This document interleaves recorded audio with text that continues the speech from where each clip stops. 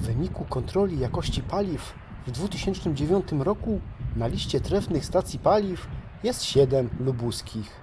Kontrolerzy inspekcji handlowej sprawdzili paliwo w 71 stacjach. Niektóre stacje losowo do kontroli, inne wybrano dlatego, że kontrolerzy mieli informacje od kierowców.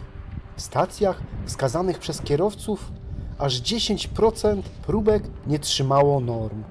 Najczęściej przekraczana była zawartość siarki w oleju napędowym, a w benzynie zaś ujawniono za dużą zawartość etanolu. Zgodnie z wynikiem kontroli na zbyt zasiarczanym oleju pośliznęła się właśnie stacja benzynowa Ekopetrol. Została powiadomiona prokuratura, Urząd Kontroli Skarbowej i Urząd Celny, a także Urząd Regulacji Energetyki, który może zabrać tym stacjom koncesję i je zamknąć. Tak właśnie było ze stacją, którą dziś odwiedzę. Pracownicy chrzcili paliwo, spółka straciła koncesję. Dzięki współpracy z grupami eksploracyjnymi dotarłem do jednej ze stacji, w której sprzedawano trefne paliwo.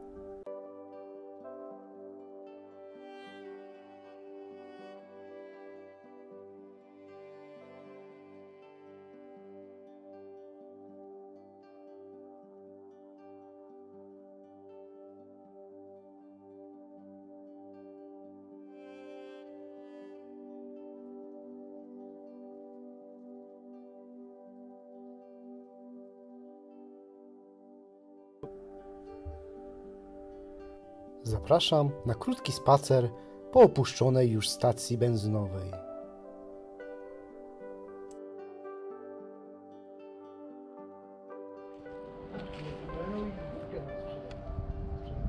Ale to jest zasłonięte. Tego to nie było zasłonięte. Ja pamiętam. No to ktoś tutaj był. Jak żeśmy ten film robili z Krzysiem, to przecież to było. Jak można zauważyć, nadal jest wyposażenie całej stacji.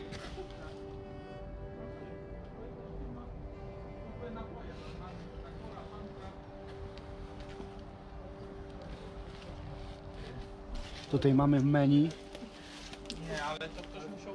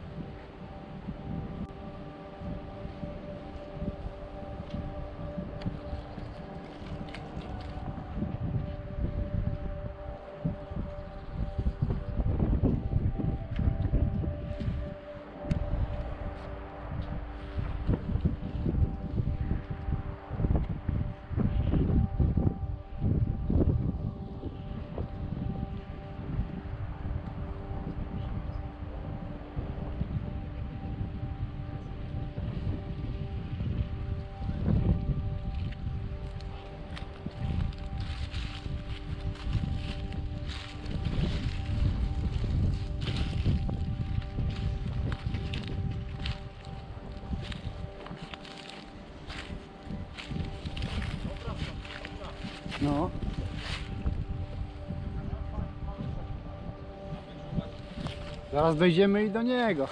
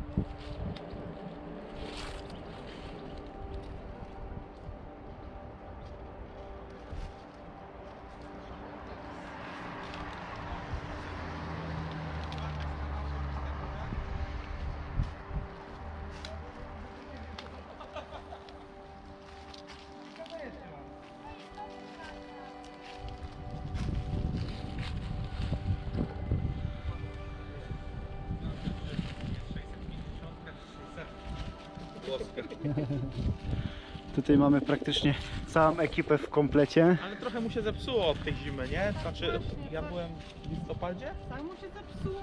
Czy w styczniu? Zepsuło się, no ktoś go trochę okopał, no. Na pewno był cały ten.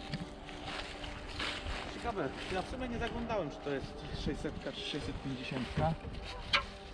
A 650. 650. Adam, kiedy się dowiedziałeś, że jest z tyłu silnik? To jest tak cud, że słuchajcie, on jeszcze stoi, nie? Bo, No.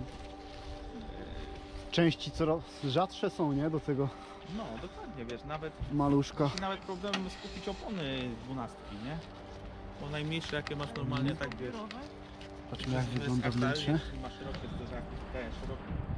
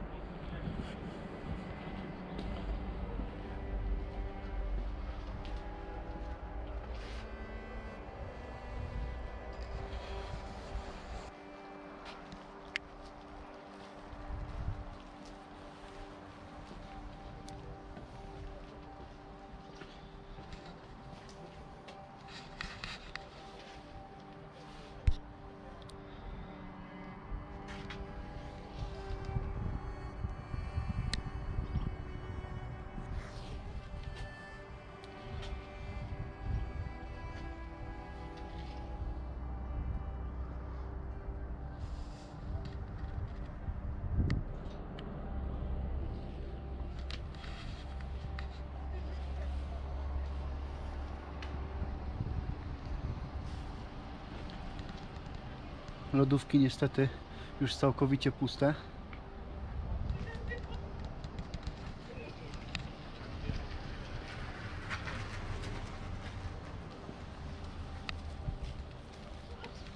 Zobaczcie, podjechał gościu i myśli, że nadal stacja jest aktywna. Jednak majopę. Widzieliście to? Gościu niestety jest rozczarowany. Za ile zalać? Widział auta. Tak, pewnie znowu działa. Ale on jakiś F, tutaj jest rejestracja na F? On nie był FMI? Między rzecz. Aha, okej. No to 50 km, powinien wiedzieć. Nie, no niekoniecznie. Jak już wcześniej wspominałem, dzisiaj nie jestem sam. W 19 zatankował. W dzisiejszym odcinku wystąpili ze mną 2000... Adam z Halo Urbex, Katarzyna, Kasia z Ministrów Urbex. No wiadomo, Bartka Bartek nie Kurwę trzeba przedstawiać. i Krystian z Szamu Urbex. Zapraszamy na kanał. To tyle. Cięcie, cięcie. Zapomniałem kamery włączyć.